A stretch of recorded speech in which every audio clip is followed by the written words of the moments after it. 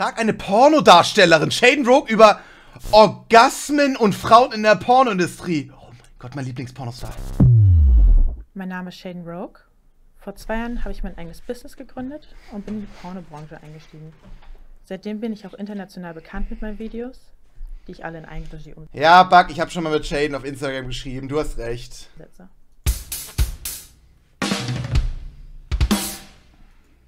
Hallo Shaden. Hallo. Johannes, Ich finde Shaden so nice, wirklich, ich bin ganz ehrlich. er hat sich gefragt, wie kamst du dazu, Pornos zu drehen? Ich war schon immer sehr, sehr offen, allgemein mit meiner Sexualität. Ähm, ich wusste früh, was, was ich wollte, habe mich gerne ausgelebt. Und irgendwann kam es dazu, nachdem ich meine Ausbildung beendet habe, dass ich meinen derzeitigen Freund kennengelernt habe. Und da wir schon gleiche Interessen hatten, hat sich das relativ schnell so entwickelt, dass wir auf einen Nenner gekommen sind und uns am Ende dazu entschlossen haben, erst mal mit Webcam anzufangen, dann mit Videos. Und so hat das gestartet. Jetzt habe ich ganz viel Spaß dabei und mache das aus Leidenschaft. Great View interessiert, wie viel Geld verdienst du im Monat damit? Digga, ich sag euch, das ist anders, Donks, dieser Business. Ist verständlich, glaube ich, dass ich nicht sagen möchte, wie viel ich verdiene, zumal es auch von Darsteller zu Darstellerin anders ist. Ähm, und ich glaube, wenn ich jetzt Betrag X nennen würde, dann würden sich viele daran messen, aber es ist gar nicht so einfach zu sagen, okay, du machst das und das und verdienst so und so viel. Das ist immer individuell. Ich kann sagen, ähm, ich versuche mich äh, jeden Monat zu steigern, einfach ähm, weil ja, weil es mir auch Spaß macht und weil ich einen gewissen Ansporn an mir selbst habe. Aber wenn ich grundsätzlich theoretisch gesehen nur 2000 Euro im Monat machen würde, dann könnte ich auch davon leben, wenn ich es richtig einteile. Deswegen, das muss jeder für sich selbst wissen, Also ich weiß, ich kann es. Viel genug ist. Ich bin mir ziemlich sicher, ich kann das quasi, das ist schwer beurteilen, aber ich kann mir vorstellen, es ist ein hoher fünfstelliger Bereich. Timo Schreiber hat sich gefragt, sind deine Orgasmen in den Pornos echt? Hm, Ich habe nicht so oft Orgasmen, aber wenn ich einen habe, dann ist er echt, ja. Ich halte nicht so viel davon, das irgendwie zu faken, zumal ich habe das auch noch nie gemacht. Ich weiß gar nicht, ob das authentisch rüberkommen würde.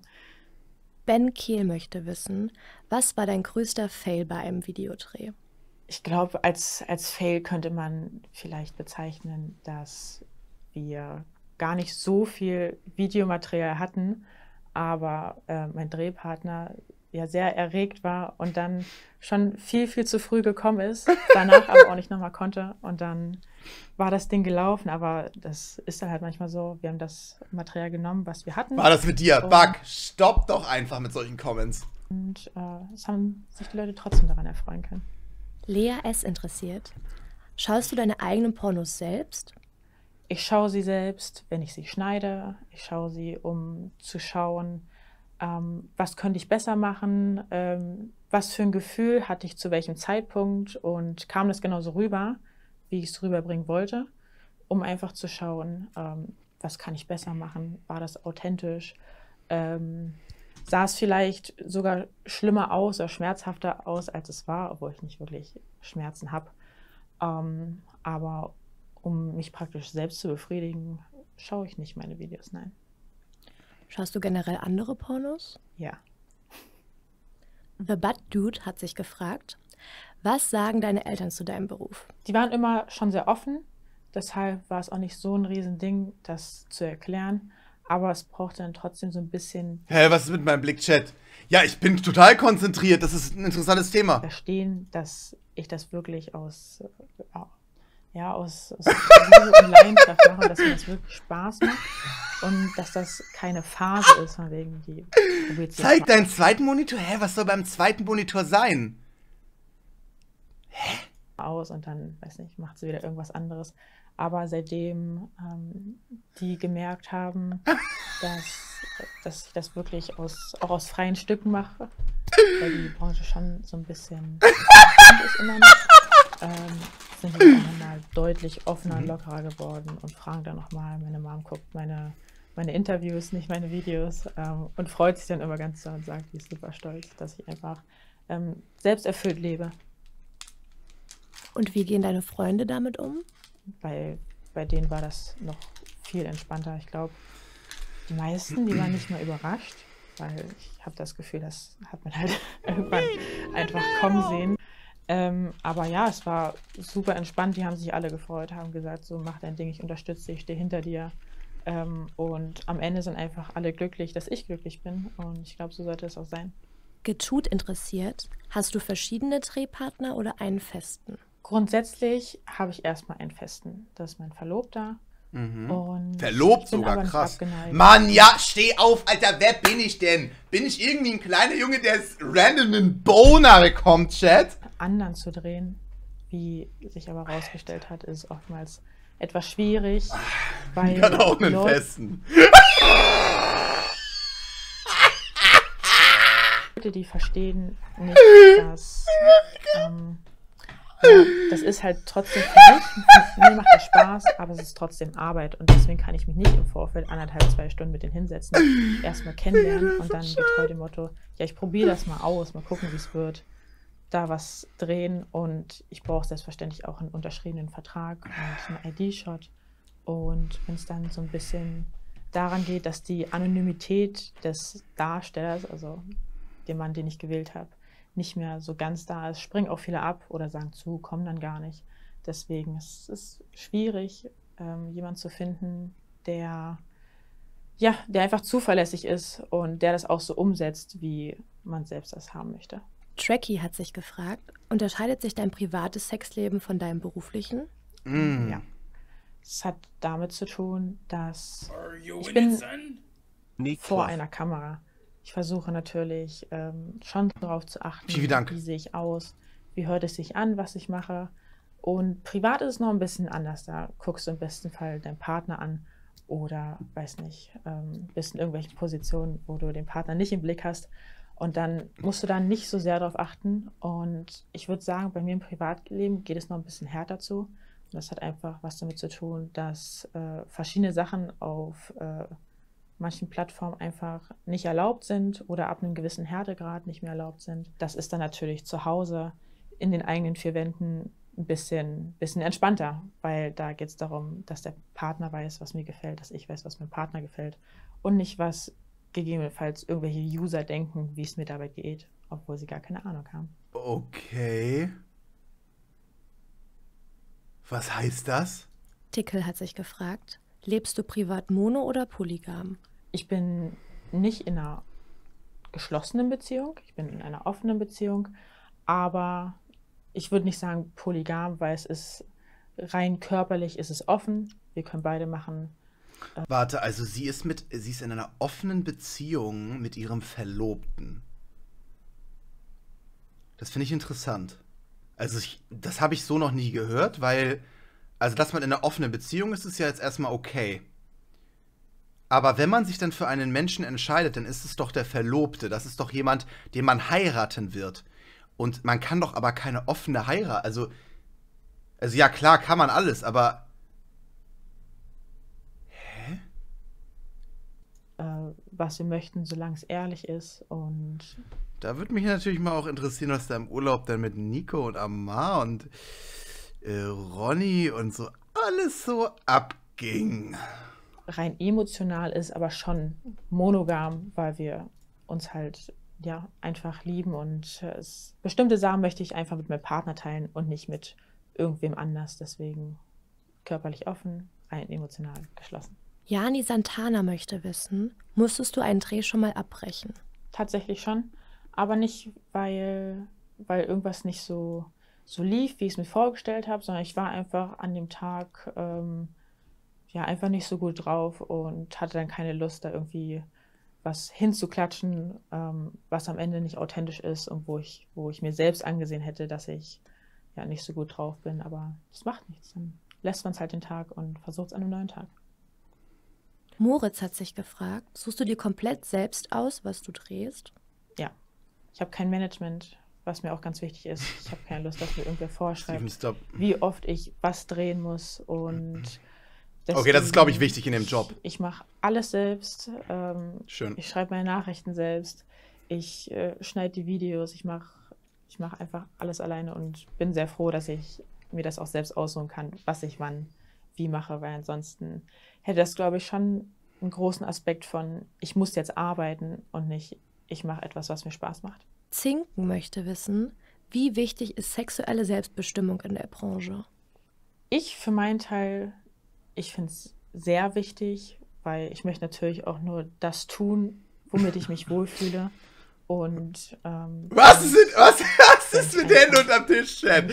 Zwei Schwänze in meinem Arsch haben möchte, dann gehe ich natürlich auch nicht irgendwo hin, wo ich genau das machen muss.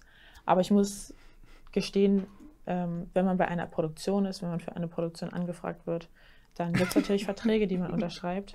Und wenn, wenn in dem Vertrag das und das drinsteht, dann wird natürlich in dem Moment die Dienstleistung gekauft und dann musst du als Darstellerin oder auch als Darsteller musst du einfach äh, abliefern und kannst dann nicht sagen, hm, ja, jetzt, jetzt will ich irgendwie doch nicht. Es ist wie in jedem anderen Beruf, Beruf auch. Und ich glaube, wenn man seine eigenen Prinzipien hat, dann kann man durchaus selbstbestimmt leben.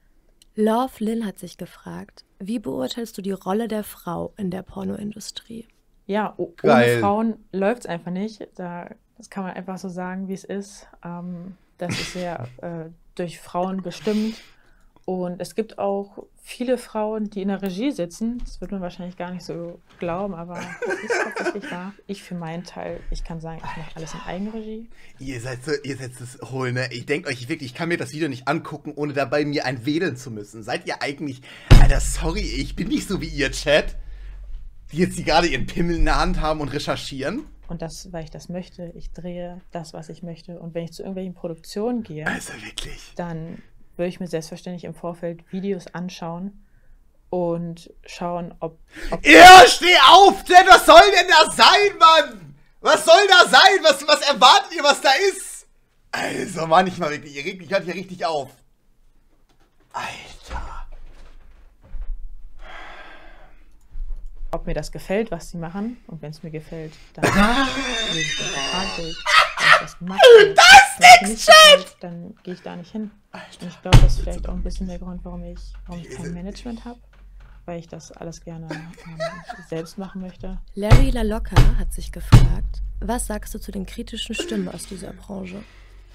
Ich finde es wichtig, dass man nicht einfach alles so hinnimmt und sagt, ja, das ist jetzt so, sondern dass man schon Kritik ausübt, aber ich finde, man sollte schon ziemlich hinterfragen, bevor man einfach irgendein, irgendein Statement setzt. Ähm, in letzter Zeit sind, sind schon doch einige ausgestiegen, auch im letzten Jahr, und ähm, haben dann gesagt, es, es, war alles ganz fürchterlich, das hat mich ganz so kaputt gemacht. Es ist natürlich so, ähm, wenn man sich mit der Person selbst beschäftigt und die Person schon im Vorfeld relativ offen war mit dem, wer sie ist, dann kann man ganz schnell rausfinden, dass einige schon im Vorfeld halt psychisch erkrankt waren, ähm, Depressionen haben, manische Depressionen oder Persönlichkeitsstörungen. Und ich finde es dann schwierig zu sagen, dass das Business ist das Böse, ähm, weil ich zum Beispiel. Okay, Chat. Wir können dieses Video nicht gucken, weil Chat einfach die ganze Zeit, weil es, es geht um das Thema Sex. Chat ist dabei. Also wirklich, Bug ist der Oberanführer von dem Kuma Club. Wirklich, Bug ist der Oberanführer vom Kuma Club. Steven ist sein erster Offizier. Direkt dahinter Kevin. Und Henry läuft auch noch mit vorne mit. So, und der Kuma Club versucht jetzt auf richtig funny alle mit aus dem Chat dazu zu motivieren, in Kuma Club zu kommen. Ich bin eine gesunde junge Frau. Ich bin auch mental sehr, sehr stark. Ich kann einiges wegstecken. Und ich für meinen Teil kann sagen, ähm, dass ich absolut weiß, was ich möchte. Und wenn ich morgen sagen würde, ich steige aus, dann hätte ich damit auch keinerlei Problem. Ich würde alle meine Profile löschen, würde mich verabschieden und dann wäre es auch gut. So, es käme dann nichts mehr, was mich irgendwie ähm, auffällt oder was mir den Ausstieg erschweren würde. Manu et in interessiert, wo sind deine eigenen Grenzen? Ähm, wenn man rein vom Film ausgeht, sind meine Grenzen da, wo die Guidelines der Seiten sind. Bedeutet, wenn Kotzen, ähm, Urin, ähm, Fäkalien verboten sind, dann werde ich mich daran halten und mich nicht darüber beschweren. Im Privaten ähm, sind meine Grenzen einfach, äh, wenn jemand denkt, nur weil ich jetzt Shaden Rogue bin, wenn es äh, eine Person ist, mit der ich schlafe und die ich nicht so gut kenne äh, und die mich nur aus den Videos kennt, denkt, der kann jetzt mit mir machen, was er will, weil er hat es ja gesehen, wie man mit mir umgehen kann, dann ist einfach, das ist, ich finde es einfach schwierig, wenn man da die Grenzen überschreitet und da muss ich auch nicht jedes Mal sagen, okay, das ist jetzt zu dolle und ähm, ich guck ganz normal ins Video. So. Ey, ich guck ganz normal. Es ist wie, als wenn wir Daily Dose gucken. Ich guck das ganz normal. Ihr, äh, guckt so fokussiert. Ich bin, ich guck dieses Video. Ähm, ansonsten bei mir zu Hause auch äh, alles, was, was mit Code, Fäkalien ist, da bin ich definitiv auch raus. Und auch alles, was grundsätzlich illegal ist. Aber ansonsten bin ich schon ziemlich offen und probiere auch vieles gerne aus, was nicht bedeutet, dass ich das im Nachhinein dann so weiterführe, aber ja. Inside the Weird Box hat sich gefragt, was würdest du an der Pornoindustrie verändern? Ich würde daran verändern, dass nicht nur immer darauf geleuchtet wird, dass es den Frauen ja so schlecht geht, weil das ist de facto einfach nicht so.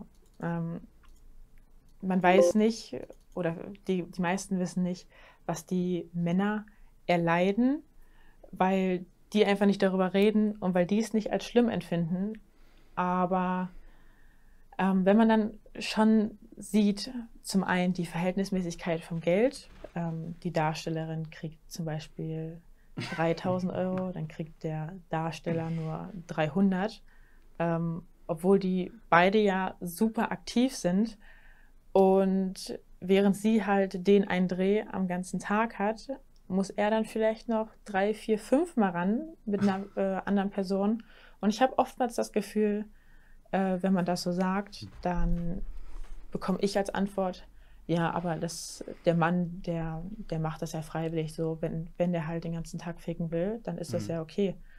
Aber ähm, es, es ist trotzdem durchaus Arbeit und da habe ich das Gefühl, es wird einerseits ähm, nicht so richtig wertgeschätzt, weil es auch als Mann super schwer ist, da irgendwie in die Pornobranche einzusteigen, wenn man halt äh, keinen schwulen Content liefert, weil der Markt einfach nicht so groß ist. Und ähm, ich finde, die Frau, die wird oftmals ein bisschen zu sehr bemitleidet, obwohl das oftmals gar nicht der Fall ist. Ähm, ihr wisst es nicht, aber es gibt super, super viele, die drehen einfach nur mit ihrem Mann, Freund zu Hause und äh, da ist der Pizzabote nicht der Pizzabote, sondern tatsächlich der Freund und das ist immer der Freund, das ist absolut What? okay. Nicht not Aber, the Pizza Guy? Ähm, ja, den, die machen das schon so, wie sie es gerne machen wollen und deswegen, das ist, glaube ich, das, was ich, was ich ändern würde. Uns geht es nicht schlecht. Lydia T. möchte wissen, hast du Ziele für die Zukunft?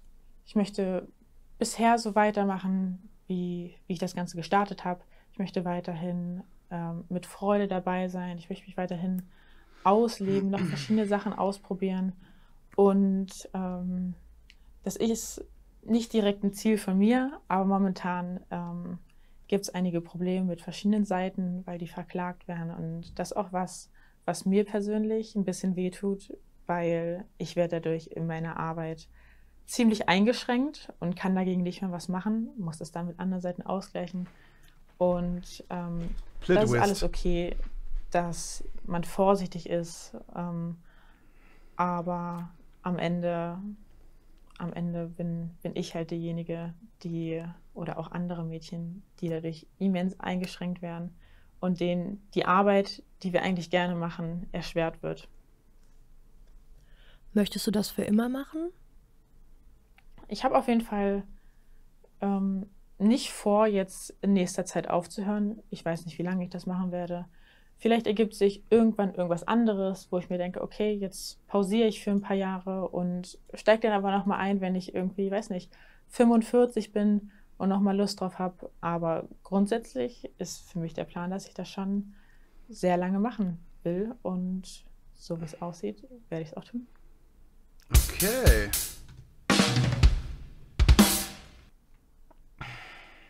Latze und Ron haben sich gegönnt. Sie gerade noch auf einer anderen Seite gesehen, sehr talentiert.